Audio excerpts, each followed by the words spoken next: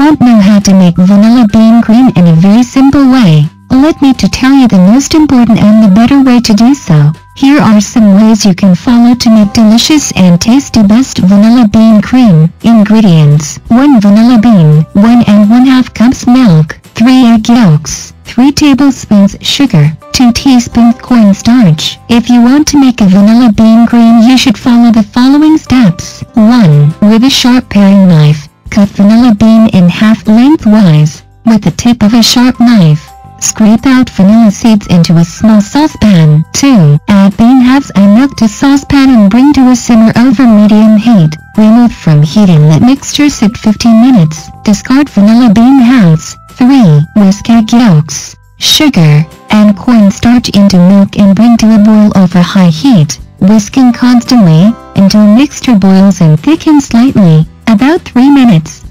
Immediately pour mixture into a bowl and let cool, stirring occasionally, to room temperature. For extra fun, try adding up to 2 TBSP, brandy or liquor to the bowl as cream cools. I hope you enjoy watching the video about how to make vanilla bean cream. Subscribe to our channel and learn more about new things. Thanks for watching video, subscribe, comments, like and share. Thank you.